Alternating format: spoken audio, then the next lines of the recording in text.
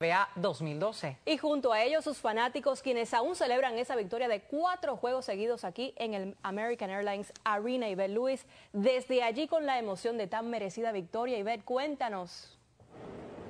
Hola, ¿qué tal? Buenas tardes, Yelenis Alejandra. Bueno, pues Miami se vistió de fiesta hoy para celebrar la victoria del Heat en el campeonato de la NBA. Y mientras muchos disfrutaron de la parada, cientos se reunieron aquí en el American Airlines Arena para continuar celebrando en grande con los jugadores. Miles de fanáticos se lanzaron a las calles del downtown esta mañana para celebrar en grande a los nuevos campeones de la NBA, el Miami Heat. Montados en autobuses, cada jugador pasó saludando a sus fans por el gran desfile que culminó en el American Airlines Arena, donde tuvo lugar un evento con música que atrajo a cientos de fanáticos. Claro,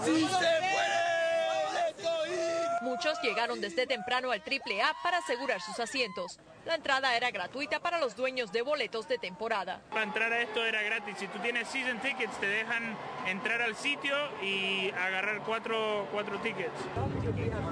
Sin embargo, las puertas de la arena cerraron a las diez y media exactamente y algunos impuntuales fanáticos quedaron afuera y desanimados. Sí, pero no nos dejan entrar 10.30, es, es claro. No nos están dejando entrar, pero eh, me imagino que van a tener una arena si no lo están dejando entrar a la mayoría de la gente. Pero el American Airlines Arena estuvo lleno y vestido completamente de blanco celebrando en grande. La arena tembló especialmente con la presentación de los tres grandes del Heat, LeBron James, Dwayne Wade y Chris Bosh.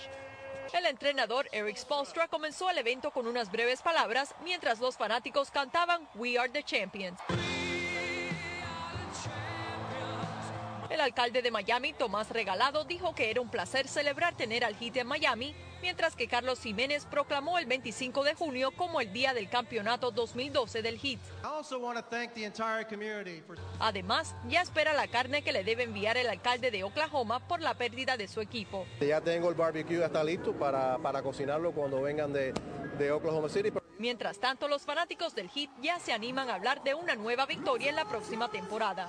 Cuatro más eh, campeonatos el año que viene y cuatro más después de ese. Creo que vamos a ganar de nuevo otro campeonato. Que agreguemos jugadores y podemos seguir con los campeonatos. Y mientras algunos continúan celebrando, los jugadores tendrán que comenzar a prepararse dentro de poco para defender el título de la próxima temporada. Por cierto, LeBron prometió ocho campeonatos, así que aún nos faltan siete. Desde la American Airlines Arena, yo soy Bel Lewis, regreso a los estudios.